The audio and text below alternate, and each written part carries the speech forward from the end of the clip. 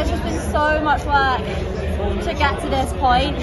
Not just like the results, but even getting into Diamond Leagues. Like, I didn't even have an agent or have a brand that was sponsoring me in January. So, like, you know, what might look like an overnight success is actually years of work behind the scenes, not just on the track, but also the political business side of hustling to get here. So I'm really proud. Well, on that, you put on your Instagram the other day that email to Meet Director in Dortmund asking Yeah. you to, to go in, and you know, it was a 406 Yeah. PB. Now that now you've got a British record, Yeah. you've got the Olympic medal, Yeah. second in the finals.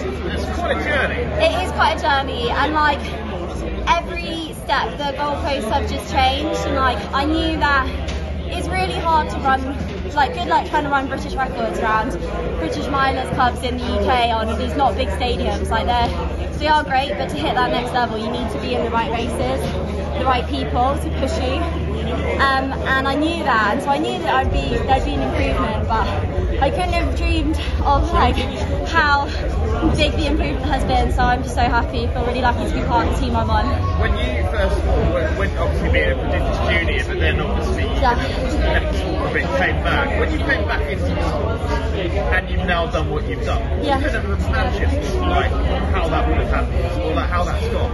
Yeah, like I, you always get told obviously that you're kind of your best years for being an athlete are like your young 20s. So I thought that getting back into it later in life, it would be impossible to run faster, especially over like the shorter distances, like the 800. But now that I'm in it, I really don't think that's true. Like if you look at my event, Faith is 30. The top five British athletes in the 1500 metres at British Champs were 30 or older. And it actually is just like you can still have these huge achievements when you get to that age. So it's really exciting. I'm just looking forward to next year, to be honest, because this is only our four months of being a pro. I'm technically on the break from work, so I'm just yeah really excited for the future. Have you have you been able to process the Olympics so far? Yeah, I have finally now.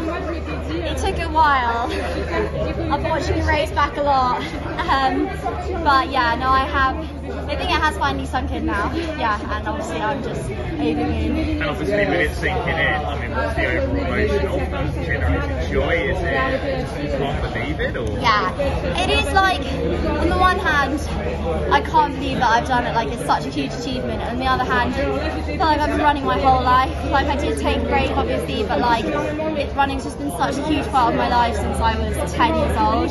So I always hoped I would make it to the Olympics.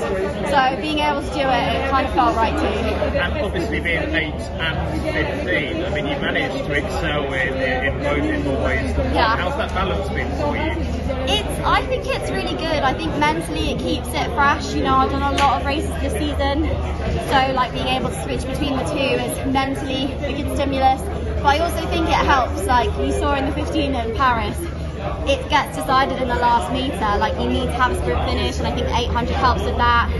Um, and then vice versa, I think doing 15 helps with the 8. So, yeah, I think the more diverse of an athlete you can be, I think the better. And people like Mondo and Carson are proving that like you don't just fit into one box as an athlete.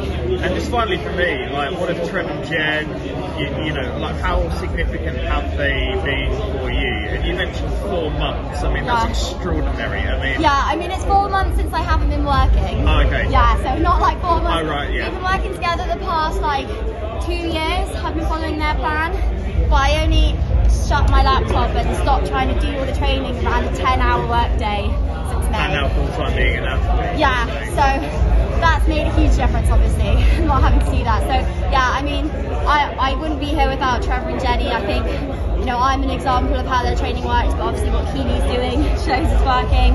What Ava Lloyd's doing, Sarah Healy, like there's so many people in the group that are achieving amazing things. And yeah, I wouldn't, if I couldn't be on their team, then I wouldn't want to be in track at all, honestly. Perfect.